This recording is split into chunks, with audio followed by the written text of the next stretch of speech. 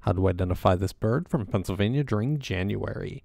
Notice the large bill and the dark blue head with the messy crest, along with the blue wing and also this band across the upper chest. And that contrasts with the white throat and collar, and also with the remainder of the underside, which is a clean white color, which makes this a male belted kingfisher.